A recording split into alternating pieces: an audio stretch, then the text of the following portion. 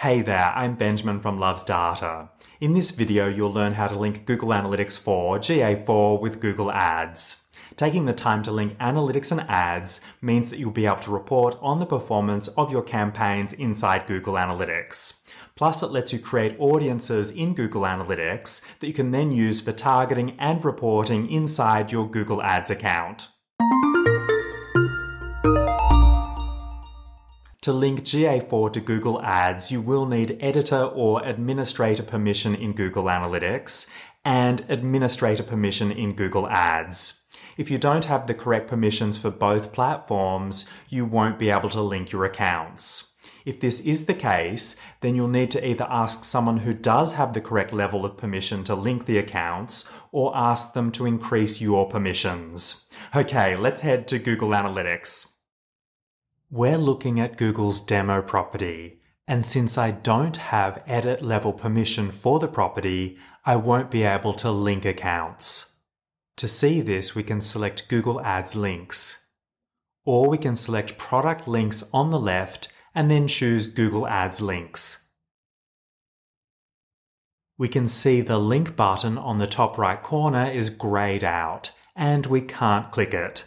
This tells us that we don't have permission to edit or adjust the configuration for the Google Analytics property.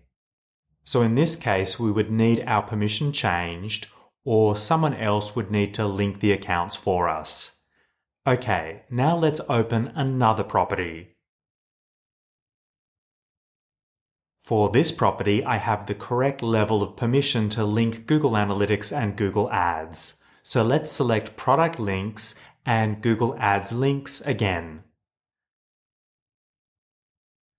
We can now see the link button is available, so we can link the accounts. Let's click Link. Now we need to select the account or accounts we want to link to, so let's select Choose Google Ads Accounts. If you have access to a Google Ads Manager account or accounts, then you'll need to click the arrow to see the full list of available accounts. We select the account or accounts we want to link, and then we click Confirm. And we click Next. We can see that personalized advertising is enabled by default. This means any audience lists you create in Google Analytics will automatically become available in Google Ads. I'm going to leave this option enabled. I'm also going to leave auto tagging enabled. This will automatically pull data from Google Ads into our Google Analytics reports.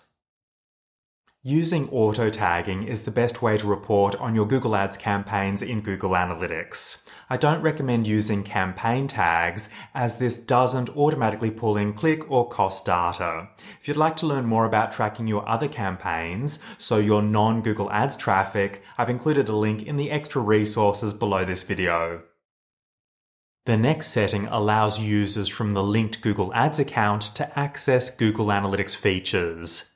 This means they will be able to access reports and, depending on their level of permission, make changes in Google Analytics. So, if you don't want users from Google Ads being able to use Google Analytics, you can disable this option. Now let's click Next. We can see a summary of the options we've selected, so we can quickly check the details. Then, when you're happy, click Submit we can see it says link created, so we know we've linked Google Ads and Google Analytics. Let's close this. We can see the account we've just linked. And if you have multiple Google Ads accounts linked to the Google Analytics property, you will see them here too. When we linked the accounts, we left the option enabled to allow users from Google Ads to access Google Analytics features. We can check and manage these permissions by selecting the account.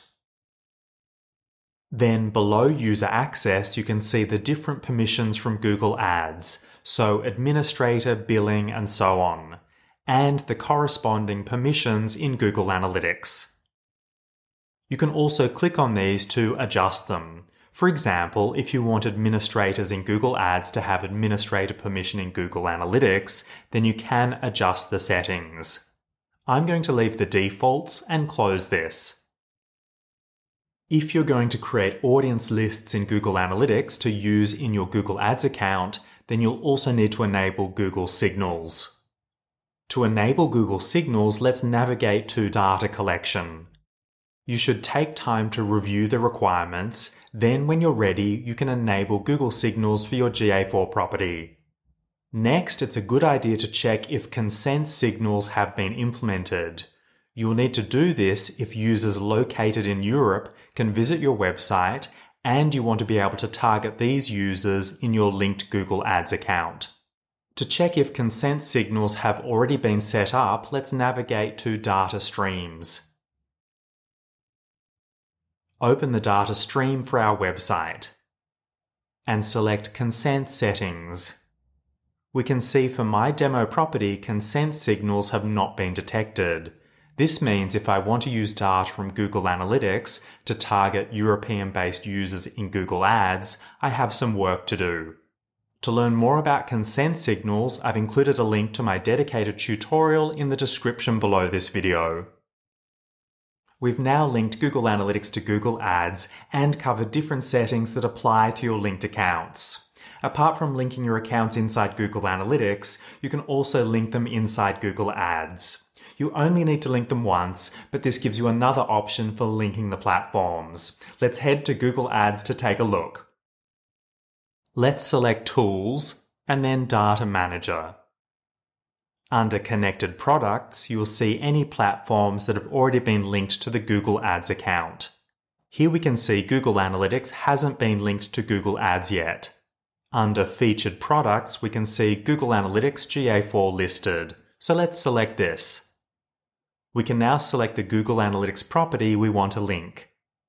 Then we click Next. We can choose to import some basic metrics from Google Analytics into our Google Ads account. And we can import audiences. I'm going to leave both of these options enabled. When you're happy, you can click Link to link the accounts. Remember you can link your accounts inside Google Ads or inside Google Analytics. Just use the option that works for you, and you'll also need the correct level of permission in your accounts to link them. Have you linked Google Analytics to Google Ads? I'd love to know. Let me know in the comments below. To learn even more about Google Ads and Google Analytics, please take a moment to check out my courses. I've included links in the description below this video. And to stay up to date, subscribe to this channel for all of my latest tutorials. Thanks for watching, and I'll see you in the next video.